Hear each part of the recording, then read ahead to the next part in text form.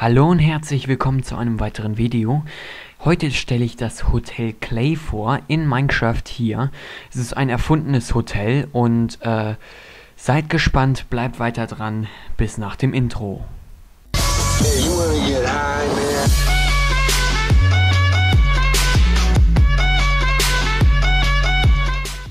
So, wir stehen jetzt hier vor dem Hotel Clay und ähm, ich muss dazu noch einige Sachen anmerken. Das ist ein vollkommen modernes neues Gebäude. Ich fliege hier einmal mal ein bisschen rundherum. Ähm, das ist als Hotel geeignet. Schon. Oh, what the fuck? Gener Generierungsprobleme. Generierungsprobleme. Ähm, so, ich muss sagen, äh, in, es gibt keine Hebel hier in der Etage, in Etagen oder sowas. Und man sieht, es gibt hier Lichtsensoren. Das äh, Gebäude ist also komplett gesteuert mit, äh, mit dem Tag, also mit der Sonne gesteuert. Das heißt, wenn die Sonne untergeht, geht hier alles an von innen. Wenn die wieder aufgeht, geht alles aus. Und momentan haben wir alles aus, bis auf die Lobby, die kann man äh, manuell steuern. manuell, hahaha, GLP. So, Witz vorbei. Ähm, wir gehen jetzt einfach mal hier rein in die Lobby und man sieht hier eine schlichte Beleuchtungseinheit, ein bisschen etwas andere Decke, wie man das sieht.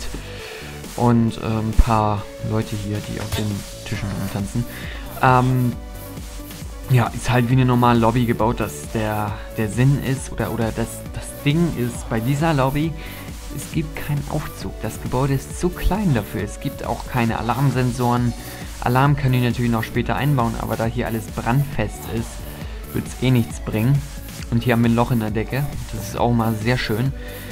Ähm, ja, hier kann man sich anmelden. Schlüssel, Dienst, Abgabe, keine Ahnung. Und oder das Licht äh, ein- und ausschalten, wie man hier sieht.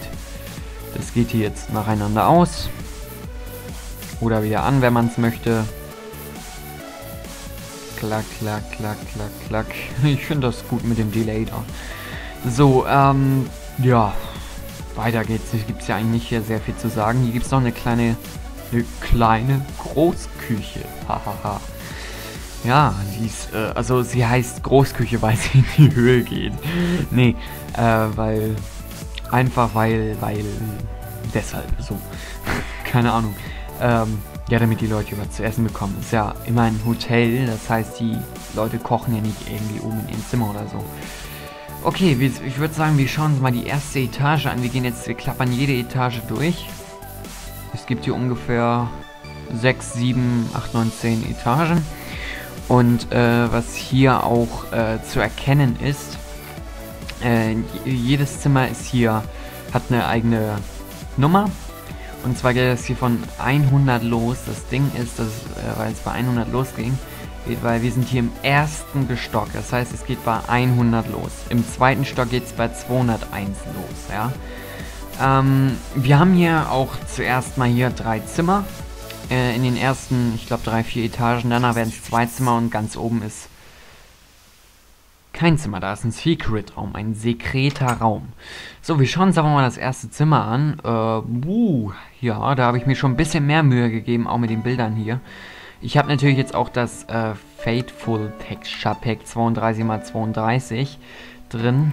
Das äh, macht die Sache hier so ein bisschen schöner rein, also ein bisschen mit dem, der Aussicht und dem ganzen Gedöns. Äh, ja, eigentlich ganz nett eingeräumt hier. Gibt kein Fernseher, es gibt nur eine eine, eine, Glas, eine Glasfassade, genau. Ich habe überlegt, auch noch Balkons dran zu machen, aber dann, oh, das wird bei einem neuartigen Gebäude, glaube ich, nicht so ganz gehen. So, ähm, hier ist so ein mittleres Zimmer. Das ist so ein bisschen, also die mittleren Zimmer sind kleiner, schlichter gehalten. Äh, haben auch deshalb auch nur ein Fenster. Deshalb würde ich die ersten, das erste Mal empfehlen oder das letzte Zimmer. Ich, mir gefällt diese Seite hier viel besser, weil ich mag es irgendwie, dass ich mag die solche kleinen Schrägen. Vor allem solche Glasschrägen sehen schön aus. Also finde ich persönlich. Und deshalb würde ich das hier so empfehlen. Ne? So, das sind die ersten drei Zimmer, also ähm, wir können davon ausgehen, dass die nächsten drei ziemlich genauso eingeräumt sind, eingerichtet. Wow. Ja, man sieht jetzt gerade das Licht angegangen, das heißt, die Sonne neigt sich dem Ende. Ähm, ja, so ein bisschen, sie sind nicht alle gleich eingerichtet. Äh, sie sind schon ein bisschen anders. Aber der Verhältnis, der Größenunterschied bleibt eigentlich immer gleich. Das ist hier, also der Größenunterschied von den Zimmern. Und äh, das ist das Mindeste. Okay, der Größenunterschied, ja, stimmt fast. Das Gebäude, desto höher wir gehen, desto kleiner wird es. Wow, was ist denn heute los? ja, das muss, das muss, das muss jetzt die Lichtumstellung sein hier.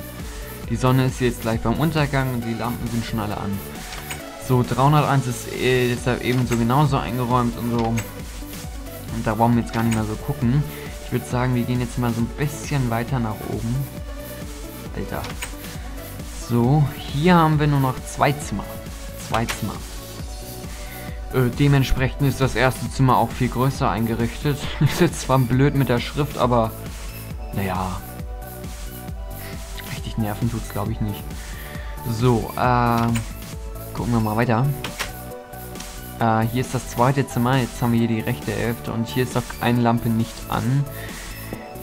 Oh, natürlich, natürlich, natürlich. Immer, ich treffe genau den Repeater, nicht zufällig daneben. Oh, könnte ich auch machen, so. Ja gut. So geht's natürlich auch. Bad. Das kann jetzt aber nicht sein, ne? Wo ist denn hier? Komm. Ja, gut, okay. Da war, war ich ein bisschen... Ach, wir lösen das einfach so. Wie gesagt, das Gebäude ist noch neu. Frisch und neu lackiert. Und man sieht auch diesen schönen äh, gehärteten Clayboden. Da wollte ich mal was anderes austesten, ausprobieren. Und äh, ja. So. Gehen wir noch ein Stockwerk weiter höher. Sehen, was wir haben. Hier haben wir wieder nur noch zwei Zimmer. Aber 501 sind wir jetzt. Äh, wir gehen mal in die... Ich glaube, wie weit geht's nach oben? Ja, das ist jetzt... Ich würde mal... Das ist jetzt das letzte Stockwerk, äh, was wir jetzt so haben. Hier. Also von der Höhe her klasse. Von der Höhe her wirklich krass. Ähm ich würde hier gerne wohnen, wenn es das in Real Life geben würde. Vor allen Dingen auch auf die Zukunftsstadt, auf den Zukunftsstadtteil, den, den ich hier baue. Auch sehr schön. Nur halt, was ich gerne mag, ist äh, die rechte Hälfte. Ah, guck mal, hier haben wir jetzt keine Schräge. Da fängt die Schräge am Boden an. Ja, einfach weil das hier war, das mit dem Ausblick einfach viel geiler ist, ne? So, ähm... Genug mit dem. Mist, wir gehen jetzt mal ein Stockwerk höher und jetzt äh, erwartet uns auch schon der Sekretraum und ihr seht es auch schon. Ich habe hier tatsächlich, oh, ich habe, ich musste lange nachdenken, was ich da für einen Raum reinbaue. Das ist das Architektenbüro dieser ganzen äh, Stadt Neuzellingen. Äh, hier haben wir das Architektenbüro Blue Creeper der GmbH, Gemeinschaft mit beschränkter Haftung, sollte jeder kennen. GmbH und, äh, oh, das das ist mein Lieblingsraum.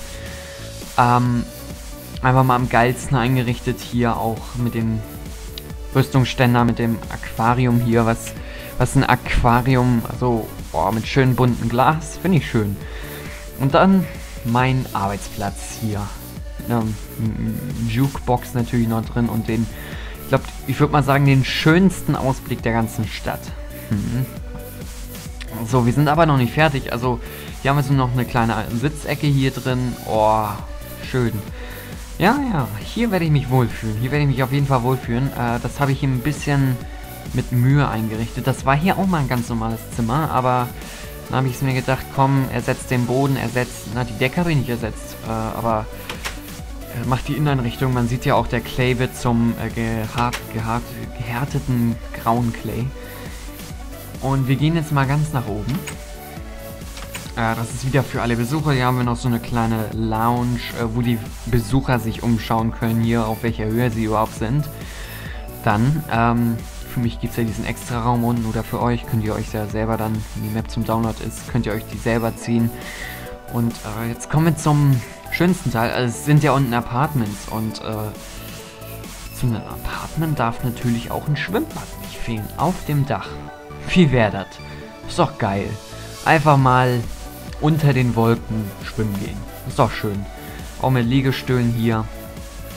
Das Ganze mit einem kleinen Huch, mit einem kleinen äh, Solarplattenteil hier gehalten. Schlicht. Und äh, ja, ich hoffe, ich, das Gebäude hat euch gefallen. Es ist momentan eins meiner Favoritengebäude, einfach nur wegen dem Ausblick. Aber da kommt noch mehr. Ich habe jetzt auch vor, in nächster Zeit einen neuen Wolkenkratzer zu bauen. Also einen Wolkenkratzer mit Mindesthöhe 250 Blöcken. Ihr könnt mal in die Kommentare schreiben, was ich da so bauen soll. Ähm, auf jeden Fall, das war's von mir. Vielen Dank fürs Zuschauen. Äh, ja, ich freue mich wieder, wenn wir uns wiedersehen in einem anderen Video. Bis dahin, macht's gut. Ciao.